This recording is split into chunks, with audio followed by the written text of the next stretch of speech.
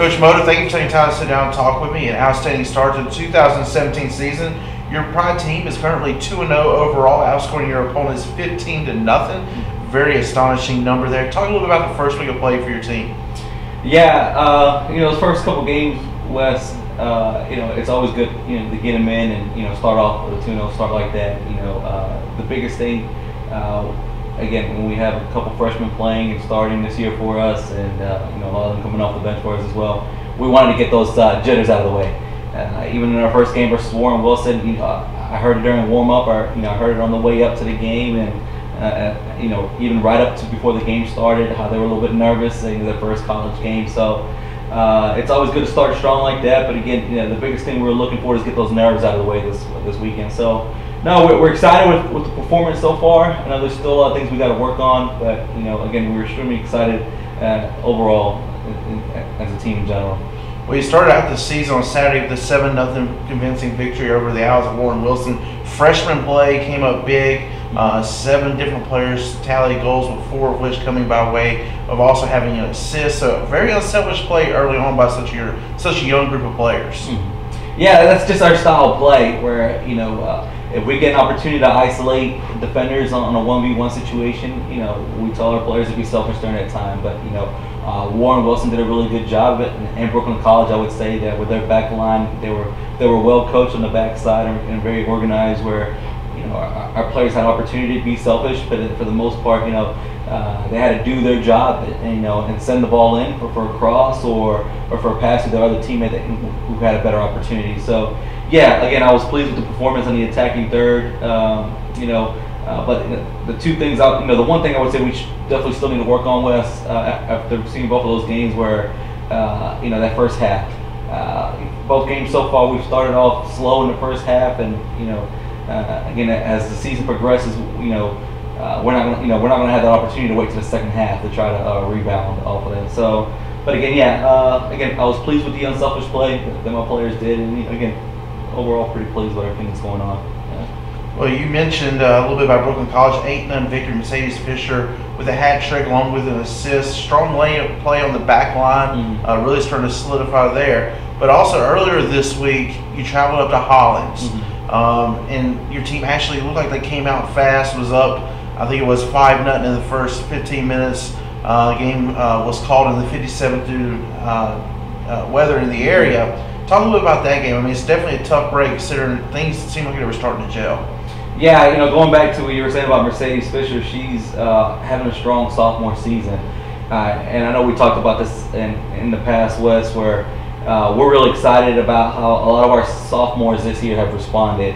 And, you know, they're playing like upperclassmen. You know, a lot of our sophomores this year, they're understanding their ability uh, as well past their years. You know, uh, again, Mercedes is playing like a senior.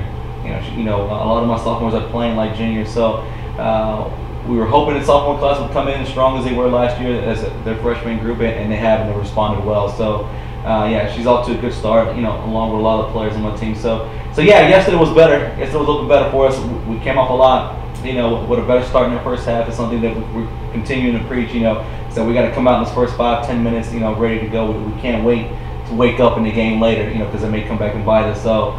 Uh, but no, we were excited about yesterday. You know, uh, we were playing the ball really, really well and uh, keeping possession, things like that. So uh, the biggest thing still, Wes, you know, even after three games, we're still evaluating players. Uh, we still don't know who our 11 are going to be. You know, you know, our defense again with the addition to Isabel Cross, who came over from, you know, she was serving her country in, in the Army Reserve. So you know. Uh, she was taking care of that stuff. You know, we just had her in the last couple weeks. She's come on strong for us in the, in the defensive line as well. So everything's wide open, and, and, my players know that. You know that the competition's wide open right now, so which is a good thing. Um, but again, it was a good start yesterday. It's been a good start to the season, and you know we hope to continue that momentum. Well, you got three games this upcoming weekend, back to back to back. Mm-hmm. So definitely fatigue could set in, but I mean, with with as many players you have, you know, yeah. you, you're going to have the opportunity to rest people. Yeah, you know, non-conference play. There's three games this weekend. You know, uh, three non-conference opponents. Uh, you know, the biggest thing that uh, at least I try to get out of non-conference games is fitness. You know, uh, our sport's unique, and you know, with three games back to back, uh, you know, yeah, that is pretty insane when you look at it. You know, especially in our sport. Uh, but you know, with with our numbers and with the depth we have, that I feel comfortable that you know each player can get you know 40 to 60 minutes and still feel comfortable the next game. So um, again, we got at any given time we got six to eight forwards we can sub. You know, you know six to eight center mids and six to eight defenders. So. Uh, you know, which is good. Uh, our depth, and, and, I feel comfortable about my players coming off the bench. You know, a lot of them can be starters. Like I said, we, we don't know who's going to start yet once we hit conference play, um, and that's what that's what non-conference is all about. With still mixing it up, still trying different things until you know we hit conference later in September. Uh, and see who are who's going to be our 11, who's going to be our players coming off the bench. So, no, we're excited about this weekend. You know, the more soccer we can play, the more games we can get in, the more film we're able to have on the, on each player, the more evaluation we're, we're able to have on everybody. So, uh, they know, uh, you know, they got to make the most out of their out of their minutes, uh, make the most out of their opportunity because uh, uh, it'll be here before we know it.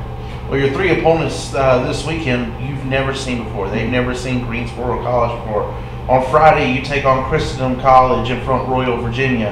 Then Saturday, you go up to Notre Dame of Maryland University and play the Gators there. And then Sunday, you got Keystone College at Notre Dame of Maryland University. What is it like playing three unique institutions that you've never seen before, and what do you know about your competition going into the weekend?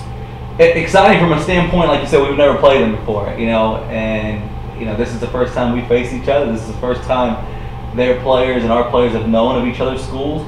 So you know, obviously, you want to come out on top and you know make a statement, you know, from the, so they can remember you.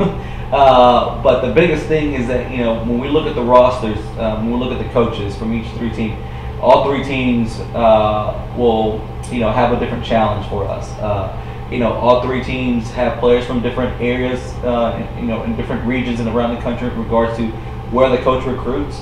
You know, all three coaches have their unique style of play. All three coaches have their different formation of play. So again, uh, all three teams will propose a different challenge from us, uh, different challenge, which is good. Uh, you need that because same thing from our conference. Everybody in our conference is unique and different. So we're excited about that. How you know, it is a quick turnaround. We are playing back to back to back where we don't have a week long or three, four days to prepare for the following team.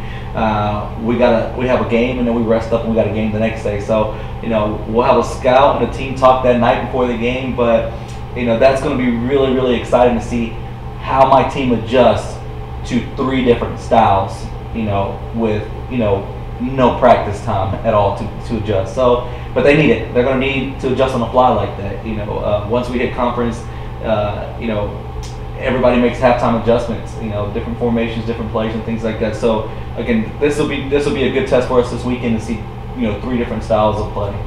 Well, Coach Mota, thank you so much for your time. Safe travels this weekend. Look forward to talking to you again next week. Thank you.